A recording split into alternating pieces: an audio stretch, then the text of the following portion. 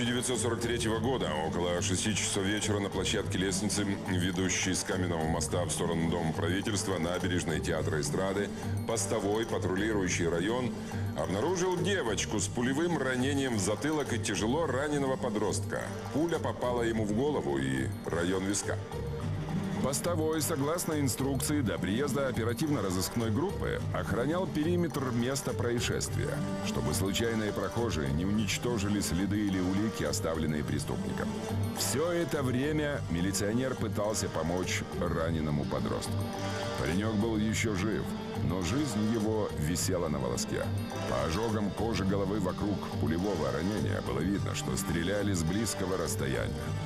Врачи скорой помощи прибыли на место происшествия очень быстро. Однако девушке-санитары помочь уже не смогли. Она была мертва, а парня сразу же забрали в больницу. Прибывшая на место преступления оперативно-розыскная группа опросила жителей близлежащих домов и учителей, находившихся рядом, 175-й школы, которая считалась главной школой страны, ведь в ней учились дети партийной элиты и членов правительства. Когда выяснилось, кем были эти подростки, оперативников охватило нешуточное беспокойство. Это были дети видных номенклатурных деятелей. Девочка Нина Уманская, дочь посла СССР в Соединенных Штатах Америки. Мальчик Володя Шахурин, сын Алексея Шахурина, наркома авиапромышленности. Оба их отца числились в любимцах Сталина. По городу мгновенно поползли чудовищные слухи, что все это дело рук фашистских диверсантов, пробравшихся в самое сердце страны с целью уничтожения детей руководителей партии и правительства. На базарах и в очередях эта тема обсасывалась со всех сторон. Мол, фашисты не могут пробраться в Кремль, а невинные дети – идеальная мишень. Какое отцовское сердце выдержит такую утрату? Лаврентий Берия тут же взял это дело под свой личный контроль. В следственную группу были включены лучшие сотрудники МУРа, а руководителю Льву Шейнину были даны самые широкие полномочия. Именно ему предстоит выяснить, кто убил Уманскую и Шахурина. Но даже сам следователь еще не догадывался, что поиски убийцы выведут его на подпольную организацию со зловещим названием –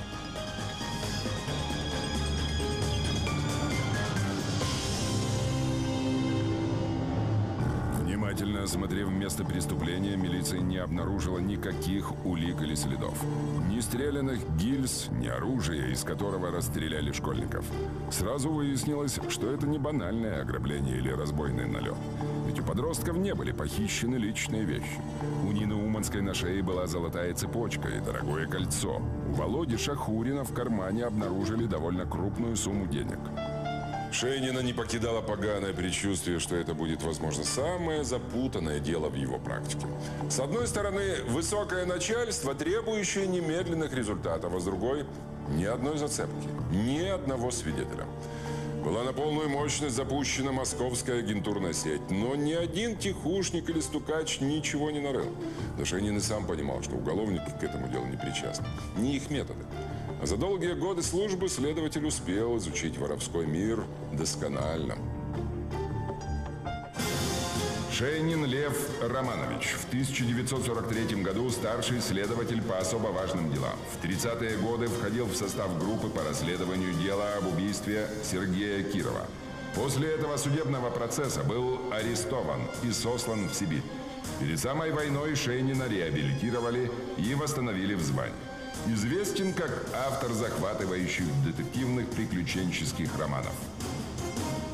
И хотя оперативники облазили каждый сантиметр и были проведены все замеры и экспертизы, Шейнин не торопился покидать место убийства школьников. Казалось очень странным, что выстрелов никто не слышал, хотя убийство и произошло средь бела дня. Также наводил на мрачные мысли и характер ранений. Девушка была убита выстрелом в затылок с двух-трех метров. А вот в Шахурина стреляли почти в упор.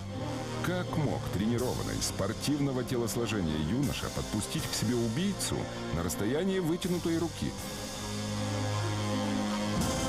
Но когда Шейнину доложили, что убийство обоих подростков произведено из немецкого пистолета системы «Вальтер», он помрачнел еще больше. Неужели слухи, мгновенно расползшиеся по Москве, имеют под собой почву? И убийство действительно совершил фашистский диверсант. Пистолет системы «Вальтер» на вооружении германской армии появился в 1938-м. Он сменил легендарный «Парабеллум». Немцам для будущих великих побед требовалось более мощное оружие. Первыми обладателями нового армейского пистолета стали офицеры сухопутных войск, командиры тяжелых артиллерийских орудий, а также часть унтер-офицерского состава вермахта и полевых войск СС. Очень скоро его стали именовать офицерским Вальтером. Надежде на то, что преступник выбросил пистолет в Москва-реку, водолазами было исследовано дно вокруг каменного моста. Место убийства Уманской и Шахурина. Но ничего обнаружено не было.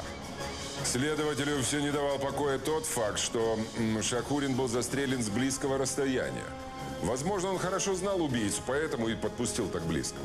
Шенин твердо решил побеседовать с окружением подростков, учащимися той самой 175-й школы. Но только вопрос, как это сделать. Ведь школа непростая, и детки там учатся непростые. К ним тоже так просто не подступишься. Нужно иметь разрешение влиятельных родителей. Вот тут-то и помог всесильный Берия. Из резолюции. Результатами следствия уже интересовался Сталин. Отбросить волокиту и сомнения. Все мероприятия, которые необходимы для расследования, проводить незамедлительно. Берия. Оставался еще зыбкий шанс, что врачам удастся сделать невозможное. Вытащить Володю Шахурина с того света. И он даст показания, кто в них стрелял или сможет хотя бы описать преступника. Но надеждам Шейнина сбыться не суждено. Спустя двое суток, 5 июня 1943 года, школьник умер, не приходя в сознание. По крупицам следователь стал собирать досье на убитых подростков. Если с личностью Нины более или менее все было понятно, красавица, отличница, характеристики положительные – то сведения Насыма наркома авиапромышленности оставляли неприятный осадок. Шахурин Владимир Алексеевич, 1928 года рождения. Высокомерен, заносчив, эгоистичен. Нарочно нарушал правила дорожного движения. Катался на подножке трамвая, цеплялся к буферам троллейбусов. Переходил дорогу там, где хотел. Его доставляли в милицию, и там он объявлял «Я Шахурин». Ему нравилось видеть, как сразу меняются в лице милиционеры, как они его боятся. Перед тем, как побеседовать с одноклассниками Уманска и Шахурина, Шейнин решил встретиться с их классным руководителем, Юлием Гурвицем. Тот и рассказал, что у красавицы Нины с Шахуриным была первая любовь. Они вместе сидели за партой, вместе готовились сдавать экзамены за седьмой класс. Но этот школьный роман скоро должен был закончиться – ведь отец Нины не так давно был назначен послом СССР в Мексике, и семья Константина Уманского готовилась к отъезду. Володя Шахурин по этому поводу очень переживал. Был подавлен и неестественно замкнут. Пожилой учитель красноречиво рассказывал о Нине. Но когда речь зашла о Шахурине-младшем, Гурвиц замкнулся, попытался быстро свернуть разговор. Но Шейнин нутром чуял, что старому учителю что-то известно, и постепенно вытащил из Гурвица интереснейшую информацию, клятвенно пообещав, что этот разговор останется строго между ними. Оказывается, однажды во время перемены Гурвиц видел, как Шахурин перекладывал из кармана в портфель пистолет. Какой пистолет вцепился в эту информацию Шейнин? Молодой человек, я близору. В жизни, кроме карандаша и тетради, ничего не держал. Большой, черный. Вот и все, что могу сказать. Далее Гурвиц рассказал, что он сделал вид, будто не заметил этих манипуляций и отвел взгляд. Но после уроков, когда все дети покинули класс, Шахурин задержался. Он внезапно закрыл дверь на ключ и совершенно поволчье набросился на пожилого учителя. Подросток схватил Гурвица цепким хватом за кадык, и пока тот, хрипя и краснея, пытался сбросить руку юнца, Шахурин твердым голосом произнес. «Ляпнешь, старый пень, кому, что видел у меня пистолет, натравлю отца, и проведешь ты остатки дней своих на Колыме». Он разжал стальные клещи, хищно улыбнулся и, как ни в чем не бывало, открыл дверь и покинул класс. Осевший на стул Гурвиц был в шоке. Под конец расспросов он сказал Шенину, что очень сильно испугался, да и кто бы ему поверил, ведь свидетелей этого бесчинства не было. Сами понимаете, сын наркома и все такое прочее. Только после смерти подростка Гурвиц и решился рассказать об этом инциденте. Тот факт, что у подростка было оружие, наводил на определенные мысли, но не был чем-то из ряда вон выходящим. Ведь во время войны купить оружие не составляло вообще никаких проблем. На любой барахолке, на толкучке можно было купить хоть пулемет. Главное были деньги. Ну вот красная цена полтора косаря, то есть полторы тысячи рублей. Но зачем подростку из парт-номенклатурной семьи понадобился пистолет? Шейнин этого понять не мог. Еще больше запутал ситуацию разговор с начальником Краснопресненского уголовного розыска. Шейнин давно был знаком с Мишкой Наумовым. Не раз под бандитскими пулями ходили. Он доверительно сообщил. «Лева, мы не первый год знакомы. Я тебе плохого не посоветую. Не копай глубоко это дело. Спусти на тормоза. Этот наркомовский сынок то еще сволочью был. Если бы не папенька с его бронью, гнить бы этому сучонку в Сухановской тюрьме. И в подтверждение своих слов показал занятный документ. А именно протокол изъятия, в котором говорилось, что однажды во время задержания у Владимира Шахурина была изъята, и тут у Шейнина глаза полезли вверх, книга «Гитлер говорит». Шейнин недоверчиво посмотрел на приятеля, но Наумов лишь печально кивнул. А знаешь, кого вместе с ним задержали? Сына Анастаса Микояна, 16-летнего Вано. Пока папашка Шахурина не примчался за своим чадом, продолжал Мишка, я успел надавить на младшего Микояна, и он мне рассказал, что он с Шахуриным состоит в тайной организации. Я как название услышал, думал, парень головой рехнулся. Четвертый рейх называется. Апрель 43-го года. Третий час шло тайное заседание активистов организации «Четвертый рейх». Глава, как он сам себя называл, фюрер организации Владимир Шахурин расхаживал в эсэсовском кителе. У остальных были повязки со свастикой. Он убеждал присутствующих, что в ряды Четвертого рейха просто необходимо принять племянника самого Сталина, Леньку Реденса. Мол, родители ему выделяют немалые суммы на карманные расходы, что крайне важно для бюджета их организации. И именно его, Реденса, членство в рядах придаст большей солидности в глазах других новоприбывших. Ленька Реденс был единогласно принят в ряды Четвертого Рейха. Племянник Сталина сразу же внес солидную сумму – 300 рублей, и таким образом избежал посвящения в тайный орден. Каждый новоизбранный, исключая девочек, должен был кровью доказать преданность вождю. Проколов палец обломком бритвы, претендент должен был кровью написать расписку Шахурину, что клянется в преданности фюреру и готов выполнить любой приказ. От девочек, хоть их было совсем немного, требовался сущий пустяк – отдаться одному из участников Четвертого Рейха и таким образом закрепить свое членство в организации. В состав Четвертого рейха входили Сергой Ивано Микояны, сыновья Анастаса Микояна, члена Госкомитета обороны СССР, Виктор Барабанов, сын помощника Анастаса Микояна, Артем Хмельницкий, сын адъютанта по особым поручениям маршала Климента Ворошилова, Петр Бакулев, сын главного хирурга Советского Союза. Феликс Кирпичников, сын заместителя Лаврентия Берии. Леонид Реденс, племянник Иосифа Сталина и Арманд Хаммер, племянник знаменитого американского филантропа Хаммера.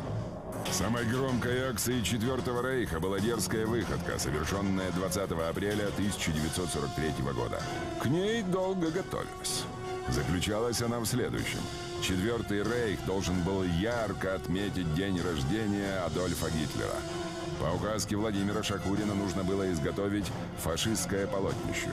Ведь достать его в Москве было совершенно нереально.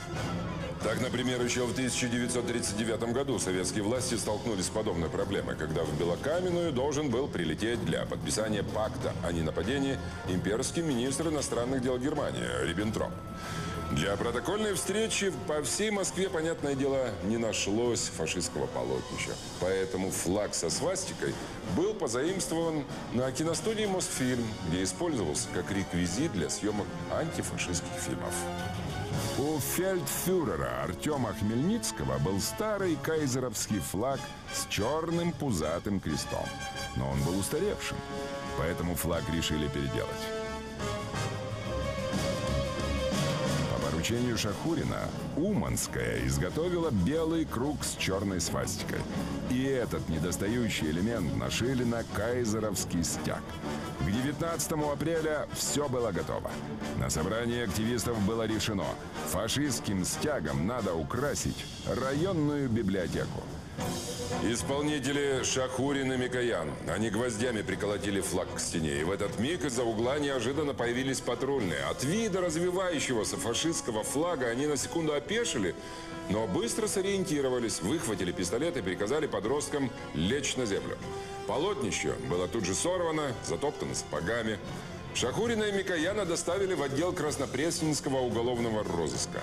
Именно тогда Михаил Наумов и вытащил из Микояна-младшего информацию о Четвертом Рейхе и конфисковал у Шахурина книгу «Гитлер говорит». Но после разговора с Шахуриным-старшим и настоятельными советами забыть это дело, мол, это у них балбесова игра такая, двух партийных сыночков отпустили. Вечером у отца и сына Шахуриных произошел тяжелый разговор. Он начался с мощной зуботычны, которую отец отвесил своему чаду. Ты понимаешь, сукин сын, что меня могут расстрелять за твои выходки? Сын молча из-под лба смотрел на своего грозного батю и вытирал кровь, которая лилась из нос. Шахурин-старший еще долго распылялся, а потом приказал завязать с этими игрищами и взяться наконец-то за ум. Тот момент наркома авиапромышленности не беспокоило, что он вырастил подонка и предателя. Его тревожило другое, лишь бы эта история не дошла до недругов, которые не упустят такой шанс и донесут все Сталину. Тогда последствия могут быть страшными. Но сидящий напротив Володька и не думал бросать затею с Четвертым Рейхом. Просто нужно быть в востократ скрытнее и соблюдать конспирацию. Детства хорошо образованный и начитанный Шакурин-младший восхищался методами работы ордена иезуитов. Обман, хитрость, интриги. Особенно ему нравилось изречение «Младший член должен быть трупом в руках старшего». Во время тайных собраний он говорил «После войны мы непременно захватим власть. Этого хочет само проведение. А пока надо как можно больше навербовать людей в нашу организацию». Каждое собрание Четвертого Рейха заканчивалось девизом, который проговаривался всеми членами одновременно – чем сильнее сжатие, тем сильнее отдача. 30 января 1933 года полномочия главы государства были переданы Гитлеру как фюреру германской нации и рейхсканцлеру. Эти действия получили одобрение почти 90% электората. Германская молодежь должна быть сильной, ловкой, упругой, как кожа, Быстрый, как гончая собака, и крепкий, как крупуская сталь. Все. Больше от вас ничего пока не требуется. Идите в восторг. Телами детей написано. Мы принадлежим тебе. Гитлер пришел к власти в 33-м, а его программную книгу «Майн Кампф. Моя борьба» уже через два с половиной года тайно издали в Советском Союзе был изготовлен особенный, уникальный экземпляр книги Адольфа Гитлера «Майнкампф», этой Библии германского фашизма. Для этой книги отобрали телят лучшей немецкой породы, ободрали с них шкуры и обработали эти шкуры на старинных станках. Мастера, проверенные до десятого колена, изготовили из этих шкур особо прочный пергамент, специальной тушью, особыми перьями, шрифтом, который обсуждался в десятках канцелярий, от руки переписала эту книгу. Она должна была храниться тысячу лет, не испортиться, не потускнеть, не заржаветь. Ибо ровно тысячу лет должен был длиться райх Адольфа Гитлера, Третий райх. Библия нацистов была предназначена, как тогда объясняли, для совершенно узкого круга читателей, в основном высших парт руководителей. Перевод на русский язык осуществлен журналистом газеты «Известия» Карлом Радоком. Таким образом, запрещенную для широких масс книгу вовсю штудировали советские партаппаратчики и функционеры. Шахурин-младший книги «Майнкамф» и «Гитлер говорит» позаимствовал из отцовской библиотеки еще осенью 41-го. И буквально за три ночи прочел их, впитывая как губка шовинистические призывы фюрера. Тогда и родилась у него идея создать свой тайный орден – и даже несмотря на победы Красной Армии по всем фронтам, Шахурин не верил, что доблестных солдат вермахта смогут победить какие-то кухаркины дети. Прочитав «Майн кампф», юноша возненавидел всех, кто находился ниже в социальном положении. Первоначально «Майн кампф» называлась «Четыре с половиной года борьбы против лжи, глупости и коварства». Но издатель, сочтя название слишком длинным, сократил его до «Моя борьба». Гитлер диктовал текст книги во время своего заключения в тюрьме, а доходы от продажи книги, как утверждал издатель, пошли в пользу Красного Креста. Но не сохранилось ни одного документа, подтверждающего этот факт. Труд «Моя борьба» четко выражал российское мировоззрение автора, разделяющее людей по происхождению. Гитлер утверждал, что арийская раса со светлыми волосами и голубыми глазами стоит на вершине человеческого развития, а евреи, негры и цыгане относятся к низшим расам. Главный нацист призывал к борьбе за чистоту арийской расы и дискриминации всех остальных. Уже в 1934 году было распродано порядка миллиона экземпляров «Майнкамф». В последующие годы издательство «Эгер Ферлаг» за каждое переиздание книги начисляло Гитлеру от 1 до 2 миллионов марок. Книга в качестве обязательной литературы выдавалась бесплатно не только товарищам по партии, но и молодоженам при бракосочетании вместо Библии. Подбирал в свою организацию людей Шахурин очень осторожно. Это должны быть дети высокопоставленных родителей. Циничные, легко поддающиеся психологическому воздействию. Когда кандидатура была найдена, Шахурин убеждал, что сейчас их лучшее время. Дальше будет только хуже, ведь законных оснований получить в наследство посты и высокие кабинеты своих отцов у них нет. Лишиться поддержки родителей можно в любой момент. И тогда прощай четырехкомнатная квартира, дача в горках, привилегии. Тогда только путь один – на завод, вкалывать обычным инженером. На вопрос, каким именно образом Шахурин собирается захватить власть, Володька лишь многозначительно отмалчивался. Шейнин узнал, когда в школе будет проходить очередной экзамен, и, дождавшись его окончания, подошел к Вано Микояну. Он решил начать с него, потому что мальчик был дружен с Шахуриным. Их двоих задержали, когда подростки вешали нацистский флаг около библиотеки. Но главное, именно Вано Микоян уходил со школы вместе с Ниной и Володей в тот роковой день. Микоян-младший держался настороженно, водил по сторонам глазками, как загнанный зверек, отвечал односложно. Но Шейнин был опытным сыщиком. Сначала он расположил парня ничего не значащими вопросами, а потом неожиданно в лоб спросил, какой пистолет был у Шахурина, Вальтер? Вано сразу же поплыл. Сник и невнятно пробормотал. Вальтер был мой. Я его у отца стащил, у него много оружия в сейфе хранится. Он и не заметил. Далее он рассказал, что же действительно случилось в тот злополучный день. Они втроем возвращались из школы. Неожиданно Шахурин отозвал Микояна в сторонку и приказал идти домой, мол, им с Ниной нужно войти в Париж. На их языке это означало совершить половой акт. Вано, тайно влюбленный в красавицу Нину, сделал вид, что ушел. Но он просто не мог пропустить такую сцену и тихонько крался за влюбленными. Около каменного моста Шахурин грубо схватил девушку за руку и произнес. «Я решил, что ни в какую Мексику ты с отцом не поедешь. Мы убежим за Урал или в Сибирь, и там возродим Четвертый Рейх, еще более сильный и влиятельный. «Дурак ты, дурак», — сказала Нина. «Никуда я с тобой не поеду. Завтра я лечу с родителями в Мексику». Не говоря ни слова, Володя Шахурин вырвал из внутреннего кармана, цеплявшись за швы пистолет, блеснувший на солнце вороненной сталью дула. «Смотри, Нинка, это Вальтер. Он заряжен. Патрон в стволе. Если не согласишься остаться, будет плохо». Но Нина рассмеялась ему прямо в лицо.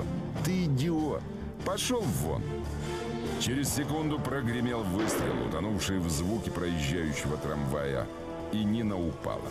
Потом Шахурин отвел руку и выстрелил себе в район виска. Но в последний момент рука дрогнула, и пуля прошла в нескольких сантиметрах выше. Онемевший от страха Микоян подбежал к школьным друзьям. Он машинально вытащил из костенеющей руки Володьки пистолет, подобрал две гильзы, валяющиеся рядом, и бросился бежать. Он не думал, что нужно вызвать милицию и попытаться спасти друзей. Он боялся, что его обвинят в убийстве. Ведь именно он украл у отца пистолет и отдал Шахурину.